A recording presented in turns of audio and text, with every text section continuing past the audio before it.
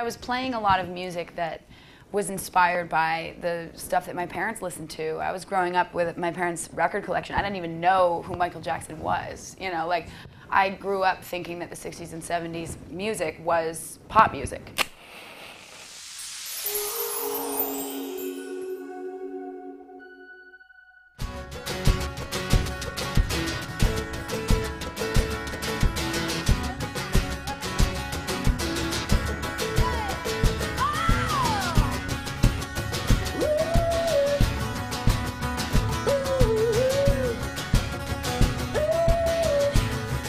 I love writing for products and movies. Um, if the product is in any way related to the band and it actually has like a legitimate connection, um, it feels genuine. It doesn't feel like a spoon-fed idea that um, where, like I said, the product overrides the band or the band overrides the product and it doesn't seem to match. You know what I mean? But if there's a genuine passion there, like you said, um, people can tell and they want to be a part of it.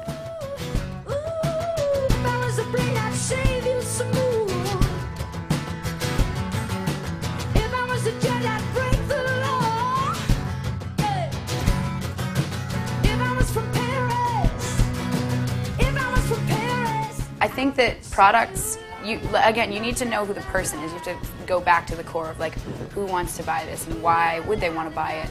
And then a song, a seed of a song can come from that really simply and uh, beautifully.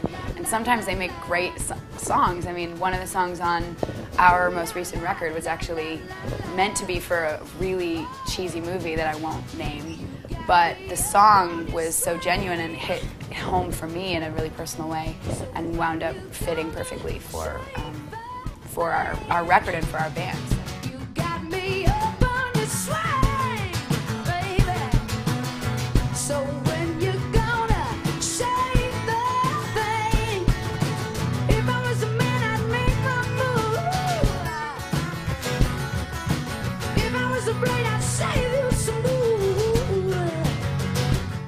we've just started to realize the full potential of what you can do. Your fans want more at all times. I mean, they don't want to just have you stay the same. They like to see the growth. And the big thing that I just noticed yesterday was actually I went out to our merch table and had a look at our new display system, which it's a store now. Like it's not just a rinky-dink table with a few T-shirts. I mean, it's like a real deal store. There's rope lights and fog machines and all kinds of not not fog machines, but still. Um,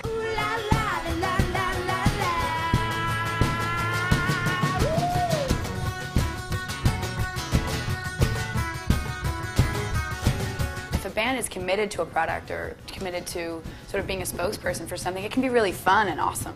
I do think that if you believe in the product that you're advertising, there can be a lot of um, symbiotic sort of understanding of the product having a relationship with the band and vice versa, that the band actually uses this thing in real life.